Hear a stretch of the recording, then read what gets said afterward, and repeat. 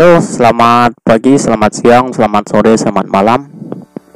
Jumpa kembali bersama saya Pak Niko di channel Bung Niko.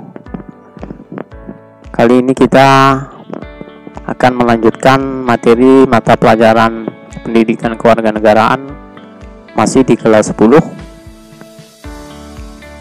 Dan pertemuan kali ini kita memasuki materi di bab 2 ya, dengan judul besarnya ketentuan Undang-Undang Dasar Negara Republik Indonesia tahun 1945 dalam kehidupan berbangsa dan bernegara.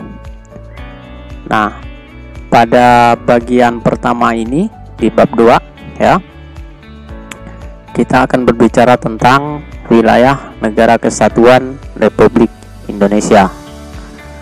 Namun sebelumnya saya sapa dulu rekan-rekan, sahabat Bung serta siswa-siswi di mana pun berada. Semoga kita semua tetap selalu diberikan kesehatan. Salam sehat, salam Pancasila. Baik, kita akan lihat ya materinya seperti apa yang berkaitan dengan wilayah negara kesatuan Republik Indonesia kita lihat prolog atau pendahuluannya jadi pada materi ini kita diajak untuk memahami konsep fakta dan prosedur pada materi pembelajaran mengenai ketentuan Undang-Undang Dasar Negara ya tahun 1945 dalam kehidupan berbangsa dan bernegara. Nah, memahami ketentuan Undang-Undang Dasar tahun 1945 dalam konsep tentang wilayah negara ya dengan menunjukkan pemetaan wilayah ya wilayah Indonesia khususnya untuk melihat apa saja hak dan batasannya ya hak artinya yang kita miliki begitu ya. Kemudian batas batasannya menunjukkan kenyataan peran warga negara yang diatur dalam ketentuan undang-undang tersebut ya sebagai bukti kita warga negara menjadi bagian dari negara atau wilayah NKRI. Nah, begitu pula tentang prosedur mempertahankan dan mengamankan wilayah negara beserta penduduknya. Ini akan nanti kita kupas pada uh, sub materi di bagian kedua, ketiga, dan keempat. Oke, kita lanjut. Nah, ke kompetensi dasar, tujuan pembelajaran, dan peta konsepnya. Ya, kita lihat kompetensi dasarnya dulu. Jadi pada KD 3.2 atau e, pengetahuan ya kognitif KI 3 nih menelaah ketentuan Undang-Undang Dasar Negara Republik Indonesia tahun 1945 yang mengatur tentang wilayah negara, warga negara, dan penduduk, ya, agama dan kepercayaan serta pertahanan dan keamanan. Itu uh, kompetensi dasar yang diambil dari KI 3 ya. 3.2. Kemudian kompetensi dasar 4.2 ini keterampilan berarti KI4 ya menyaji hasil telaah tentang ketentuan Undang-Undang Dasar Negara Republik Indonesia tahun 1945 yang mengatur wilayah negara, warga negara dan penduduk, agama dan kepercayaan serta pertahanan dan keamanan. Nah, menyaji ya menyaji hasil telaah. Oke, itu kompetisi dasar. Sekarang kita lihat tujuan pembelajaran.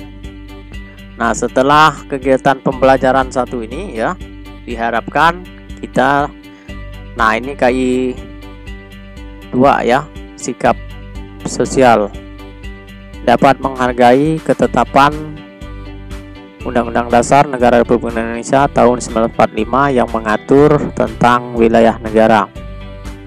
Kemudian KI 3 ya pengetahuan mengidentifikasi wilayah negara kesatuan Republik Indonesia.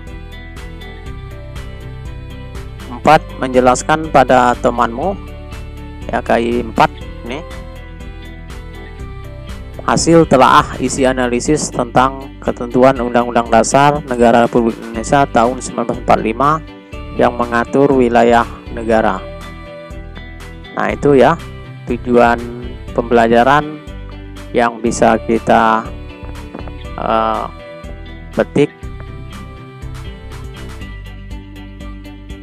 Oke, selanjutnya kita lanjut ke konsep map atau pemetaan materi Nah, secara umum di bab 2 ini ada empat subbab ya, ada empat subbab yang akan kita lihat kali ini adalah bagian A ya wilayah NKRI nanti pertemuan berikutnya kedudukan warga negara dan penduduk Indonesia kemudian kemerdekaan beragama dan berkepercayaan lalu pada bagian keempat Sistem Pertahanan dan Keamanan Negara Republik Indonesia. Itu pemetaan materi secara umum di bab 2. Kemudian khusus pada pertemuan kali ini kita berbicara tentang wilayah NKRI. Itu ada dua subbab yang akan kita pelajari kali ini. Yang pertama itu ketentuan dan pemetaan wilayah NKRI yang kedua, batas-batas wilayah NKRI.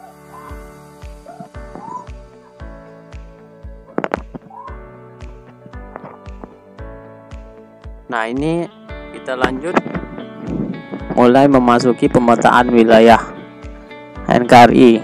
Nah, ini ada gambar peta wilayah Indonesia ya. Jadi negara kita ini merupakan negara kepulauan yang memiliki wilayah lautan yang sangat luas. Oleh karena itu, negara kita juga disebut sebagai negara maritim. Nah, kita lihat uh, aspek dari negara kepulauan. Indonesia adalah negara kepulauan. Hal ini dipertegaskan dalam Undang-Undang Dasar Negara Republik Indonesia tahun 1945 pasal 25A yang menyatakan bahwa NKRI adalah sebuah negara kepulauan yang berciri Nusantara dengan wilayah yang batas-batas dan hak-haknya ditetapkan oleh undang-undang. Ini eh, landasan hukum ya. Ketentuan mengenai konsep negara kepulauan. Nah, selanjutnya kita dapat melihat bahwa beberapa wilayah daratan di antara lautan yang membentang luas sebagai penghubungnya.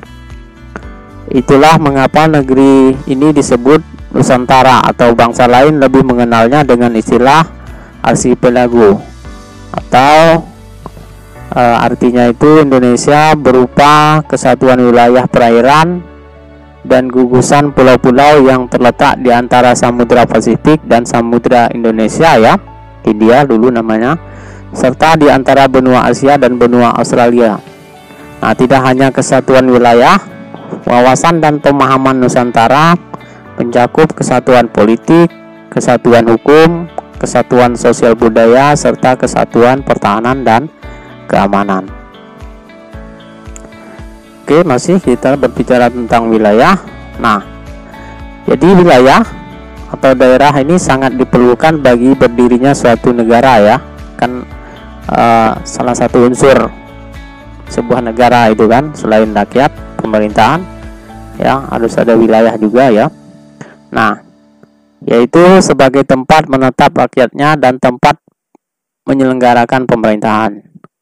Wilayah negara terdiri atas daratan, perairan, udara, dan wilayah ekstrateritorial. Nah, batas wilayah tersebut dapat ditentukan secara alam, geografi, buatan, perjanjian, dan lain-lain. Nah, batas alam contohnya sungai dan pegunungan. Batas geografi, garis lintang dan garis bujur. Batas buatan seperti pagar dan tembok, contoh di Cina ya ada tembok Cina tembok Berlin ya. Nah Jerman Barat Jerman Timur itu ya batas. Kemudian perjanjian misalnya konvensi dan traktat. Nah kita lihat untuk wilayah laut. Nah wilayah perairan atau laut ya yang berada dalam wilayah suatu negara itu disebut dengan lautan teritorial. Pada tanggal 10 Desember 1982 diadakan traktat atau perjanjian multilateral di Jamaika mengenai laut teritorial. Nah, jadi dalam perjanjian di Jamaika tersebut ada rumusan ya tiga empat rumusan ya mengenai uh, laut teritorial, batas zona bersebelahan ya, batas zona, kemudian zona ekonomi eksklusif ya. Nanti juga akan dijelaskan kemudian landas benua atau landas kontinen ya nah untuk landas benua atau landas kontinen batasnya lebih dari 200 mil ya nah negara yang bersangkutan dapat mengambil manfaat ekonomi tetapi berkewajiban bagi untung dengan masyarakat internasional Oke, itu wilayah laut. Sekarang wilayah ekstrateritorial. Nah, wilayah ekstrateritorial yaitu daerah-daerah yang menurut hukum internasional diakui sebagai wilayah kekuasaan suatu negara meskipun wilayah negara tersebut letaknya di negara lain. Nah, kapal yang berbendera kebangsaan suatu negara dan kedutaan besar suatu negara adalah contoh dari wilayah ekstrateritorial. Wilayah daratan Wilayah daratan merupakan tempat bermukim dan tempat menyelenggarakan pemerintahan. Batas darat dapat diukur dengan menetapkan batas alam seperti gunung, sungai itu ya. Garis lintang dan garis bujur dan batas-batas buatan ya. Batas-batas tersebut kemudian dikukuhkan melalui perjanjian antar dua negara atau lebih ya atau banyak negara multilateral. batas teritorial ya wilayah laut yang berada dalam wilayah suatu negara itu disebut dengan lautan teritorial namun tidak semua negara dunia memiliki laut teritorial. Contoh Swiss Zambia dan Afghanistan. Afghanistan ya. Ini mereka tidak memiliki laut teritorial. Kemudian udara. Nah wilayah udara atau suatu negara ya adalah ruang udara yang terletak di atas permukaan wilayah daratan dan lautan suatu negara. Umumnya diukur secara tegak lurus ke atas sampai dengan tidak terbatas. Namun ada juga negara yang menerapkan batas negara dengan perjanjian karena kompetisi kemajuan teknik penerbangan, misalnya antara Iran dan Amerika. Oke, itu tadi tentang wilayah ya sekarang kita lanjut nah ini tadi ya batas-batas wilayah ya. Pembagian wilayah laut ya. Nah ini saya perlihatkan gambarnya untuk gambaran saja sebagai uh, referensi tambahan ya.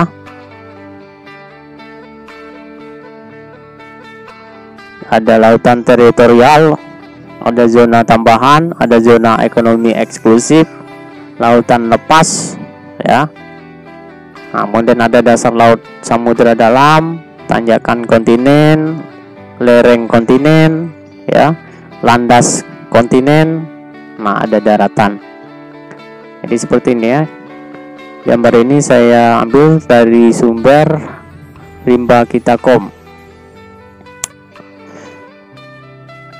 Baik, kita lihat. Walaupun tidak berada pada wilayah yang sama, namun kita harus berusaha untuk mengenali wilayah wilayah negara ini dengan baik ya. Salah satunya kita kenali pembagian wilayah laut sesuai dengan hukum laut internasional yang telah disepakati oleh PBB tahun 1982. Berikut ini ada tiga ya. Kita lihat yang pertama zona laut teritorial. Teritorial ya, Batas laut teritorial ialah garis hayal yang berjarak 12 mil laut dari garis dasar ke arah laut lepas. Jika ada dua negara atau lebih menguasai suatu lautan, sedangkan lebar lautan itu kurang dari 24 mil laut, maka garis teritorial ditarik sama jauh dari garis masing-masing negara tersebut. Ini zona laut teritorial. Kemudian zona landas kontinen. Landas kontinen itu ialah Dasar laut yang secara geologis maupun morfologis merupakan lanjutan dari sebuah kontinen atau benua. Nah, kedalaman lautnya kurang dari 150 meter. Indonesia terletak pada dua buah landasan kontinen, yaitu landasan kontinen Asia dan landasan kontinen Australia. Adapun batasan landasan kontinen tersebut diukur dari garis dasar, yaitu paling jauh 200 mil laut jika ada dua negara atau lebih menguasai lautan di atas landasan kontinen, maka batas negara tersebut ditarik sama jauh dari garis dasar masing-masing negara. Nah, sekarang yang ketiga zona ekonomi eksklusif adalah jalur laut selebar 200 mil laut ya ke arah laut terbuka yang diukur dari garis dasar. Nah, di dalam zona ekonomi eksklusif ini, Indonesia mendapat kesempatan pertama dalam memanfaatkan sumber daya laut. Tuh ya. Ini mengenai penjelasan batas wilayah laut di Indonesia. Sekarang wilayah NKRI ya. Nah, berdasarkan deklarasi Juanda pada tanggal 13 Desember 1957 Bangsa Indonesia memiliki tambahan wilayah seluas 2 juta kilometer persegi ya. Termasuk sumber daya alam yang dikandungnya ya. Luas wilayah negara kita itu adalah 5 juta ya 180.053 km persegi yang terdiri dari wilayah daratan ya seluas 1 juta ya 900 lebih ya kemudian wilayah lautan seluas 3 juta 200 lebih ya kilometer persegi kemudian di wilayah yang seluas tersebut ya tersebar 13.466 pulau yang terbentang antara Sabang hingga Merauke. Nah, ini menggambarkan bahwa Seluruh wilayah dan kekayaan alam yang terkandung di dalamnya sebesar-besarnya dapat dikelola untuk kepentingan dan kesejahteraan bangsa Indonesia. Nah, adapun isi deklarasi Juanda menyatakan bahwa segala perairan di sekitar, di antara dan yang menghubungkan pulau-pulau yang termasuk dalam daratan RI ya, dengan tidak memandang luas atau lebarnya adalah bagian yang wajar dari wilayah daratan negara Republik Indonesia dan dengan demikian merupakan bagian daripada perairan pedalaman atau perairan nasional yang berada di bawah kedaulatan negara Republik Indonesia. Nah, penentuan batas laut 12 mil yang diukur dari garis-garis yang menghubungkan titik terluar pada pulau-pulau negara Republik Indonesia akan ditentukan dengan undang-undang. Nah, ini sudah sesuai ya dengan Sekretariat Jenderal MPR RI. Ya. Oke. Masih ada lanjutannya. Nah, maknanya apa? Maknanya adalah laut bukan sebagai pemisah tetapi pemersatu bangsa kita ya Prinsip ini kemudian ditegaskan melalui peraturan pemerintah pengganti undang-undang Perpu ya nomor 4 PRP 1960 tentang perairan Indonesia. Hal ini menyatakan bahwa Indonesia menganut konsep negara kepulauan yang berciri Nusantara ya archipelagic state. Konsep itu kemudian diakui dalam Konvensi Hukum Laut PBB tahun 1982 UNCLOS ya 1982 ya United Nations Convention on the Law of the Sea nah, itu UNCLOS yang ditandatangani di Montego Bay, Jamaika tahun 1982. Nah, ratifikasi Indonesia atas keputusan UNCLOS itu dengan dikeluarkannya Undang-Undang Nomor 17 Tahun 1985. Masih lanjutannya. Nah, wilayah kita ya, daratan ya. Ini memiliki potensi yang luar biasa, di mana mengalir ratusan sungai, ribuan hektar area hutan, persawahan, dan perkebunan. Di kedalaman daratan Indonesia juga terkandung kekayaan alam yang melimpah, berupa bahan tambang seperti emas, batu bara, perak, tembaga, dan sebagainya. Begitu pula wilayah udara dapat dimanfaatkan untuk transportasi, teknologi satelit, dan potensi lainnya yang dapat memberikan ketahanan sosial budaya, ekonomi, dan militer. Ekstrateritorial pun memberikan nilai harga diri sebagai bangsa yang diakui kedaulatannya oleh bangsa lain. Oke, itu tadi mengenai wilayah NKRI. Sekarang kita lihat batas wilayah NKRI. Nah, untuk menunjukkan wilayah suatu negara sebagai tanda luas wilayah yang dimiliki oleh suatu negara, maka dibutuhkan ciri yang dibatasi oleh sungai, laut, hutan, atau ada pula berupa tugu perbatasan yang memisahkan satu wilayah dengan wilayah lainnya. Nah, secara geografis, batas wilayah laut Indonesia berhubungan dengan 10 negara, sedangkan perbatasan wilayah darat Indonesia itu hanya berhubungan dengan tiga negara. Berikut ini batas-batas wilayah Indonesia di sebelah utara, barat, timur, dan selatan.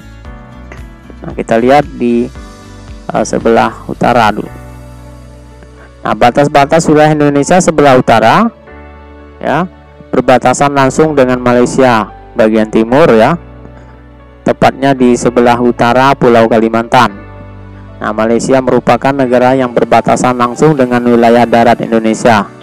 Wilayah laut Indonesia sebelah utara berbatasan langsung dengan laut lima negara yaitu Malaysia, Singapura, Thailand, Vietnam, dan Filipina. Itu sebelah utara. Sekarang barat. Nah sebelah barat ya berbatasan langsung dengan Samudra Hindia dan perairan negara India. Tidak ada negara yang berbatasan langsung dengan wilayah darat Indonesia di sebelah barat. Walaupun secara geografis daratan Indonesia terpisah jauh dengan daratan India, tetapi keduanya memiliki batas-batas wilayah yang terletak di titik-titik tertentu di sekitar Samudra Hindia dan Laut Andaman. Nah, dua pulau yang menandai perbatasan Indonesia dengan India adalah Pulau Ronde di Aceh dan Pulau Nicobar di India. Sekarang sebelah timur. Nah, wilayah timur ini berbatasan langsung dengan daratan Papua Nugini dan perairan Samudra Pasifik. Indonesia dan Papua Nugini telah menyepakati hubungan bilateral antar kedua negara tentang batas-batas wilayah tidak hanya wilayah darat, melainkan juga wilayah laut. Wilayah Indonesia sebelah timur, yaitu Provinsi Papua, berbatasan dengan wilayah Papua Nugini sebelah barat, yaitu Provinsi Barat, Fle, dan Provinsi Sepik Barat, Sandaun. Lanjut, sebelah selatan. Di sebelah selatan berbatasan langsung dengan wilayah darat Timur Leste, perairan Australia dan Samudra Hindia. Timur Leste adalah bekas wilayah Indonesia yang telah memisahkan diri menjadi negara sendiri pada tahun 1999. Dahulu wilayah ini dikenal dengan Provinsi Timur Timur. Provinsi Nusa Tenggara Timur adalah provinsi yang berbatasan langsung dengan wilayah Timur Leste, tepatnya di Kabupaten Belu. Nah, selain itu, Indonesia juga berbatasan dengan perairan Australia. Baik, itu tadi mengenai batas wilayah NKRI. Kemudian kita juga sudah mengupas tentang uh, wilayah NKRI. Nah, semoga apa yang saya sampaikan bermanfaat bagi kita semua. Mohon maaf atas segala kekurangan saya akhiri salam sehat salam Pancasila